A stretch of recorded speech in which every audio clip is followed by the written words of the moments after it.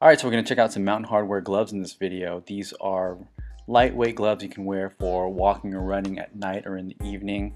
Uh, not the thickest gloves, so they're probably best to be worn underneath as liners during the cold winter months.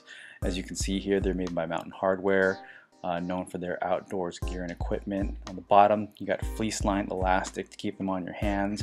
Uh, you got a clip that can uh, keep them together when not in use so you don't lose the gloves. Um, really great construction in terms of the lining uh, on the fingers as you can see here as well as uh, the thumb um, cloth and material.